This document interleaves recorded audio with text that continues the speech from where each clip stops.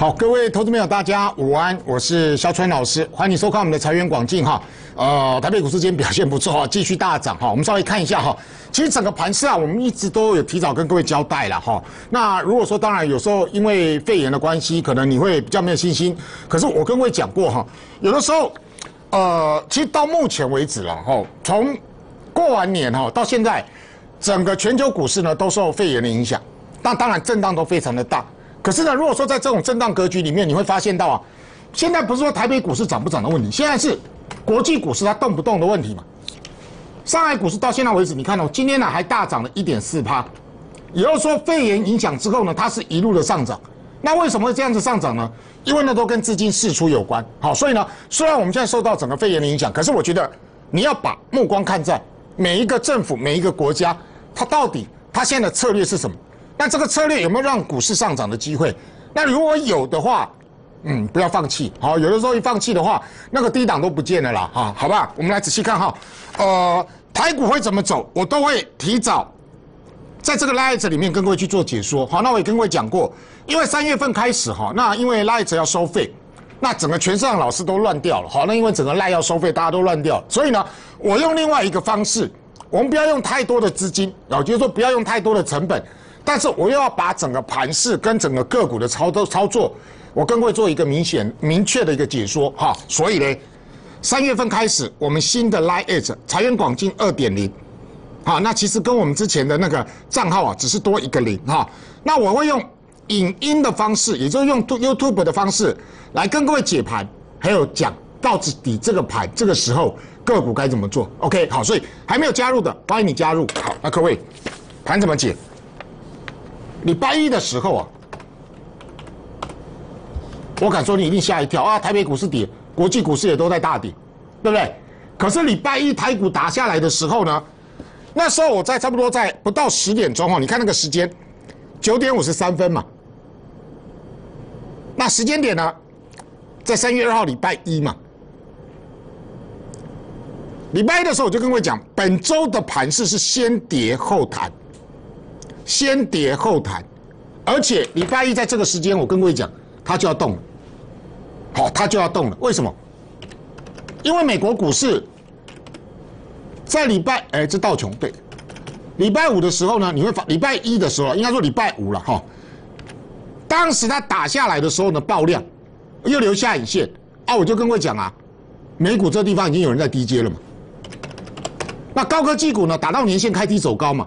我也跟各位讲啊，啊，这个盘照理说它要弹啊，所以呢，台北股市打到这一根的时候，我在赖里面跟他讲，本周要先跌后弹，对不对？好，弹起来没有？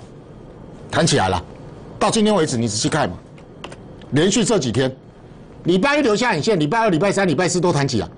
那当然，昨天的盘因为受到美股在下跌嘛，可是我昨天给各位一个观念，就是说现在。全市场啊，应该说全每每个国家的政府了哈，都在学什么？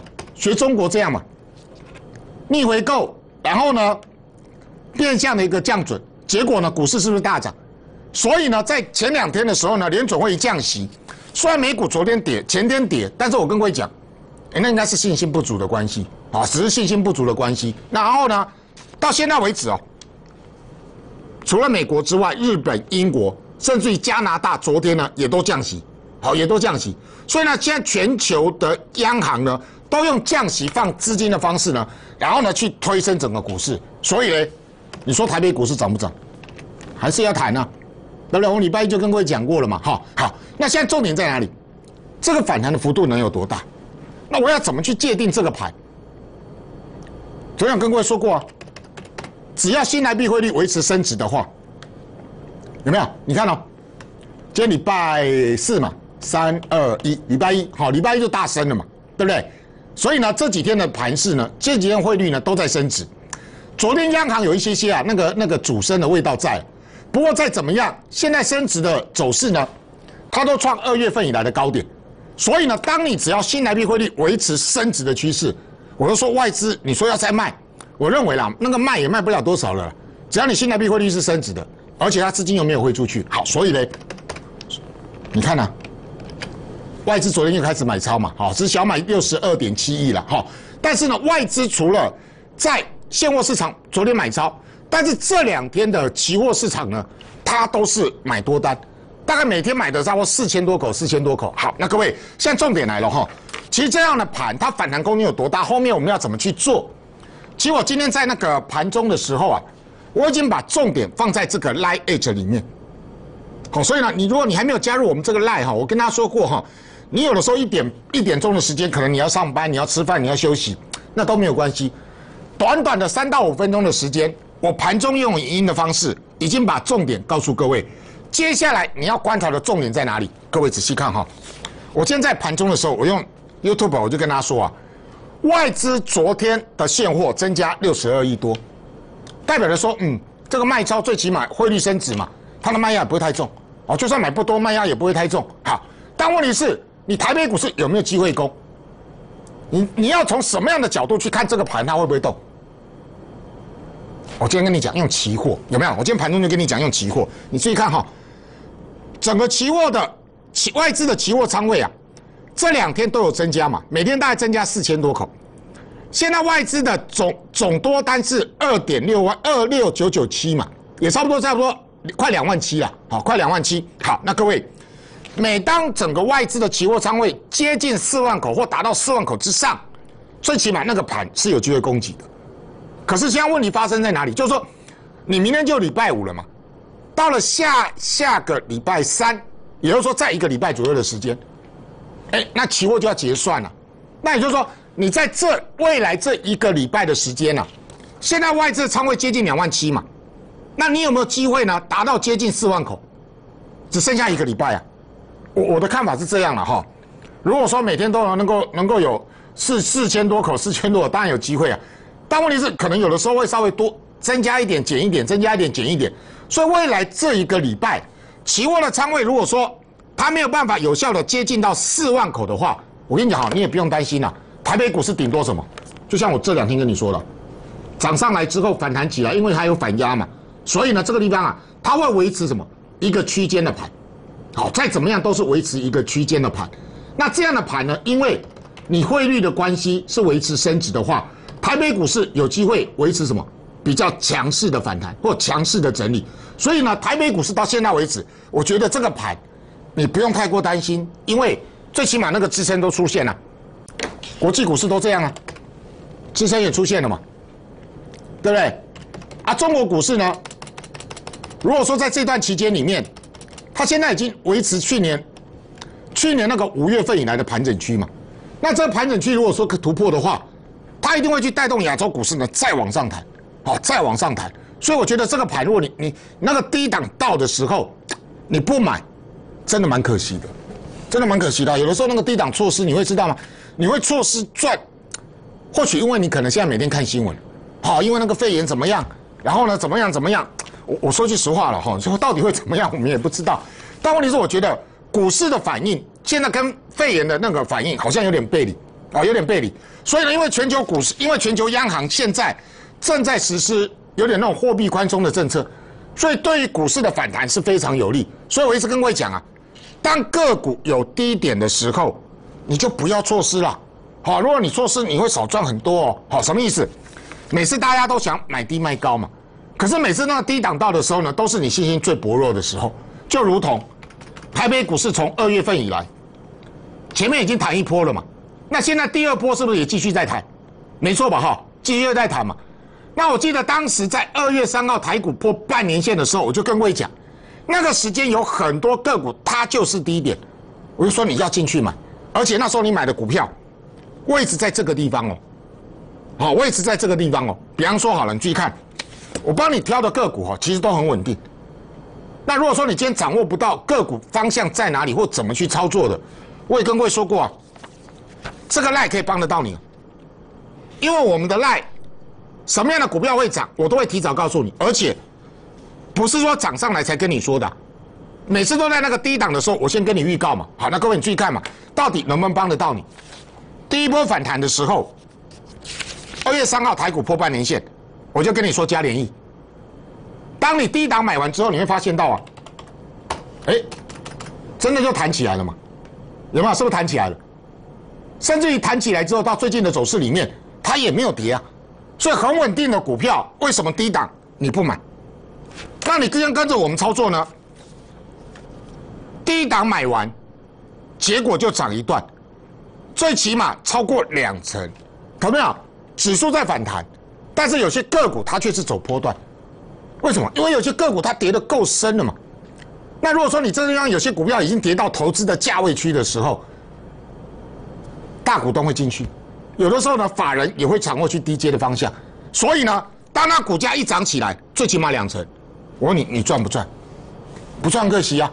这个盘有那个低档，然后呢，你买在低点，你说要再跌哪里去？不会啊，因为个股就是低点呐。好，再举个例子来讲，比方说什么？二月六号，如果二月三号当时你还不进场的，没有关系，二月六号还有机会啊。当时我就跟各位讲过了，那天早上盘我们进场抢便宜嘛，十点三十六分的时候我就我会把图形秀给大家看，结果这档个股呢，当初我跟你讲汉讯嘛。五十四块三，好，那各位你注意看嘛，还没动的时候低档，我在这里叫你买，买完之后呢，隔天涨停，涨停再创新高，那这样的一个走势，最起码也是两成，有没有？是不是那里面有提早跟你预告，后面要涨方向？好，再举例子来说，你再仔细看哈，二月十号早上十点左右。你会发现到好，我们的赖都盘中发，哦，我们要说等到盘后我们再来马后炮，然后呢再看图说故事。如果是这样的操作，对你没什么帮助。但是我就跟各位说过啊，为什么我说我们的赖能够让你看看赖就赚钱？为什么？因为什么样的股票会涨，我们提早跟你预告嘛。那时候我跟各位讲说，你现在要留意什么？低位接低本一笔之外，还有呢，它会有转单的效应。所以呢，二月十号那周我说这是那一周的攻击股，你要把握上车的机会。结果当时在跟各位讲的时候，你看哦，很多时候股价在低档，你会觉得很怀疑，它会涨吗？它真的会涨吗？好，那各位，那时候我跟各位讲过六四三二的金展科嘛，对不对？还没有动，我告诉你，结果你注意看哦，当你低档前一天二月十号买完之后，哎，它隔天涨停了，隔天涨停起来之后呢，再创新高。到现在为止呢，你会发现到嘛，当初掌握这一段的走势，我低档有买，我拉高有卖，虽然后面还有让你跟它创新高，可是留出很长的上影线嘛，对不对？就代表着说，涨上来的股票你就不用追嘛。那你今天看我们的赖呢？我是在这个地方叫你去买，结果这一段起来，最起码二十五趴，怎么说可以不赚呢？所以第一波的操作。你看都有两成嘛，对不对？第一波的操作都有两成嘛。好，那第二波的操作，我在二月十号的时候跟你预告，你看那时候也是盘中嘛。我说你这档是你资金大的，可以留意一档一年大底完成，本一比又偏低，所以呢股价还没有动，还没有动的股票，我跟你讲说这个地方你就进场去买。好，那各位这档个股。当初谁跟你讲台盛科？没有啊。结果台盛科一涨起来，大家都有。好，所以呢，那没关系，你帮我们抬轿。因为当初低档一一三附近，我们低档就买。这一买起来，你看，哎，大涨。这一涨起来，差不多快三成，有没有？今天还在涨。问题是你低档买完到现在为止，你怎么做你都是赚钱的。但问题是你现在回头来看这个盘。哇，你就觉得啊，这个指数好像不太动，啊，这个盘不能做。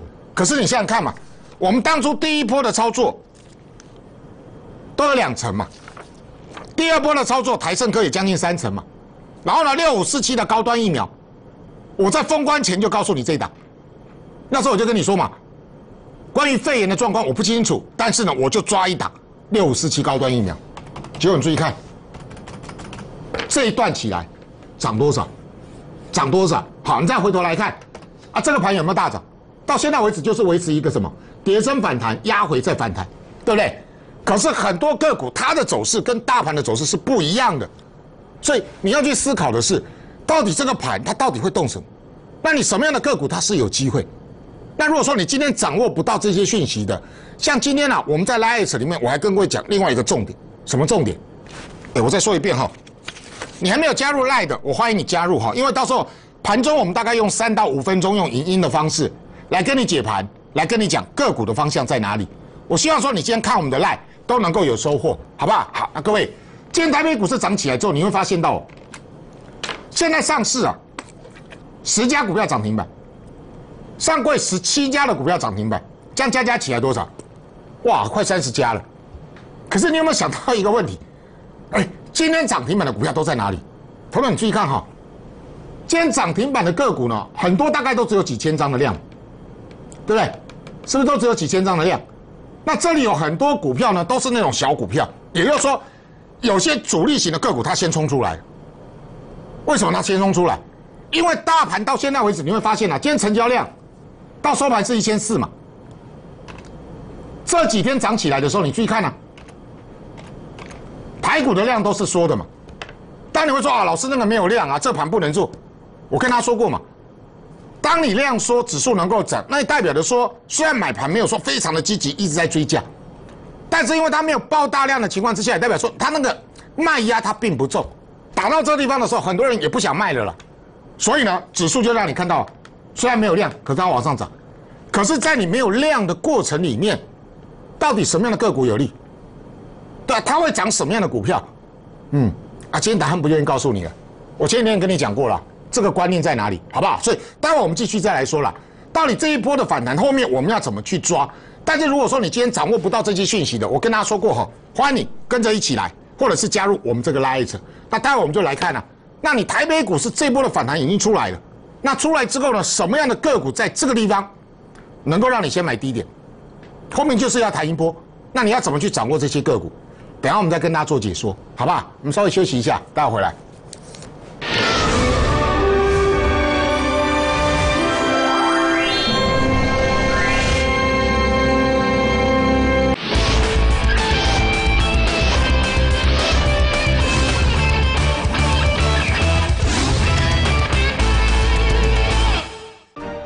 亚洲投顾招牌老，品质好，市场唯一的老字号，人才多，专业多，经验多，三多营造获利，三多创造财富，股票期货的专家，多空操作的赢家，亚洲投顾就是你家，有家的温暖，零二二五七八三七七七，零二二五七八三七七七，亚洲投顾真心照顾。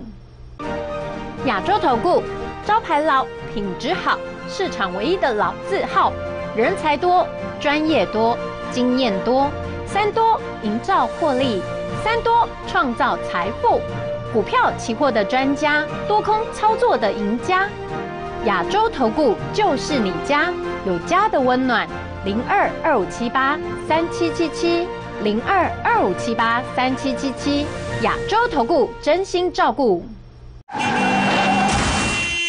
车怎么开的？啊！预防二次交通事故有法法：一、开启危险警告灯，在适当距离放置车辆故障标志或其他明显警告设施；二、拨打一一零报警或一一九救护伤患。三、标会车辆位置，可用手机拍摄机证。四、无人受伤时，将车辆移到不妨碍交通的地方；有人受伤时，当事人均同意再移动车辆。五、在路边或路外安全的地方等候警察到场处理，预防二次交通事故发生，放波话仪等就对啦。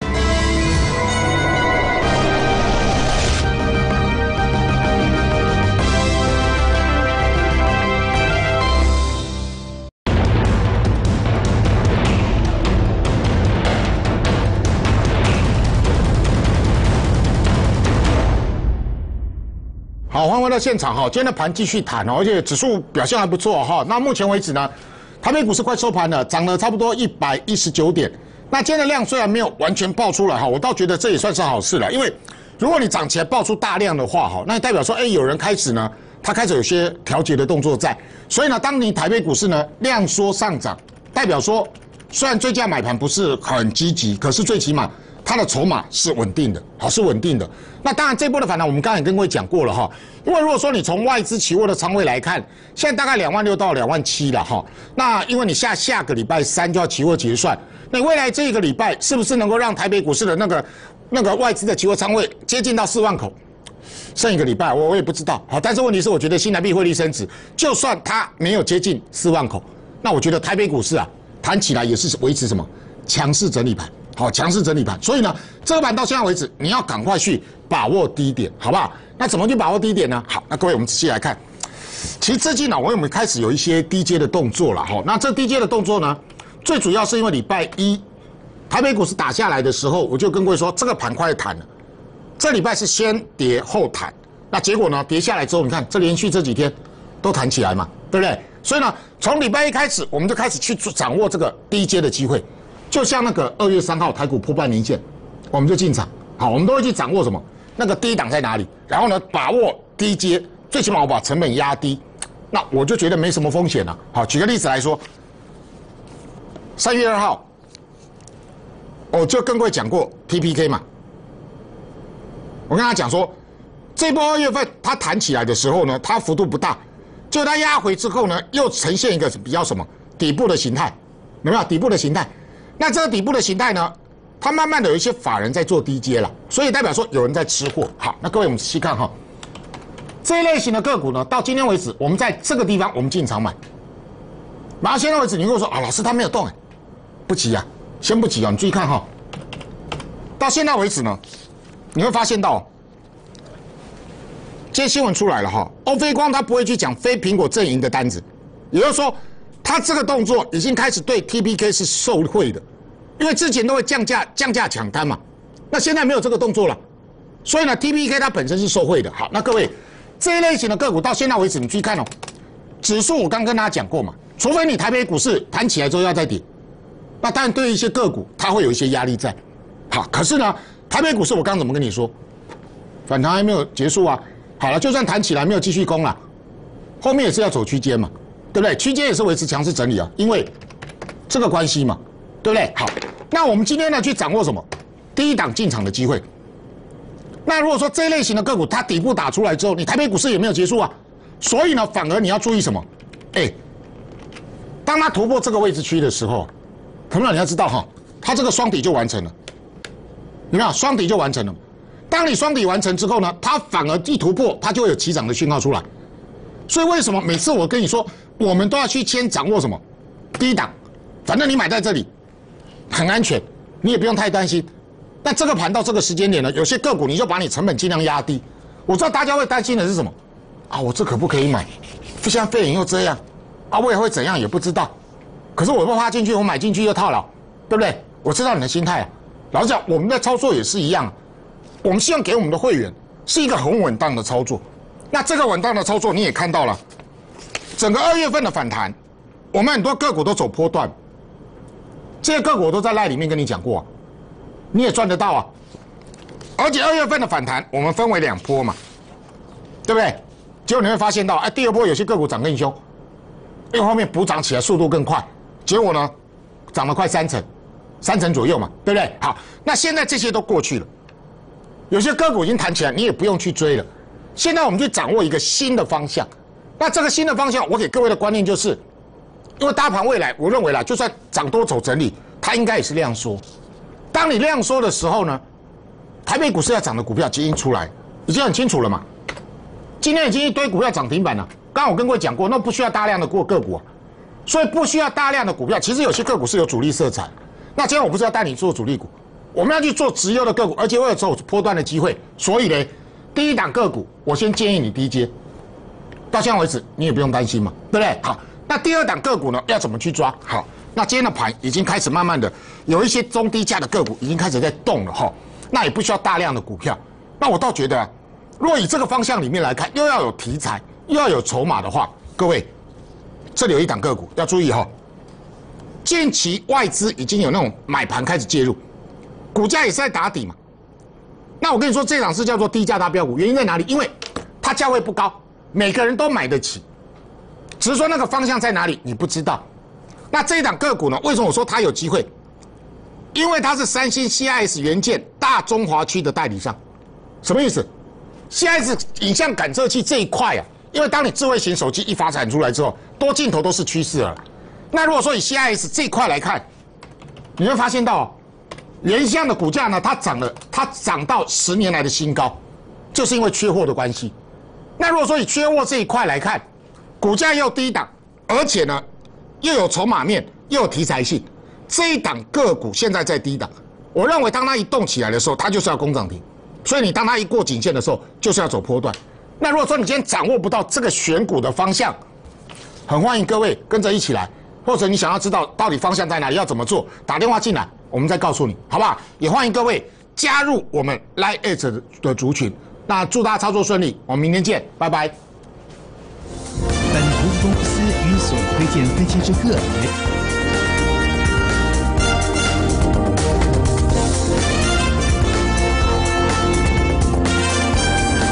公。司与所推荐分期之客也有大证券无不当之财务利益关系，以往之绩效不保证未来获利。本节目资料仅供参考，投资人应独立判断、审慎评估并自负投资风险。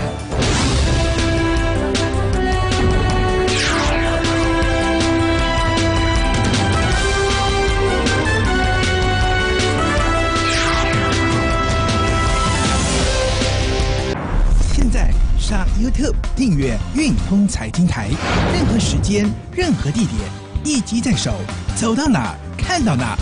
YouTube 二十四小时线上直播最及时，分析师精准盘势解析，随选随看真方便。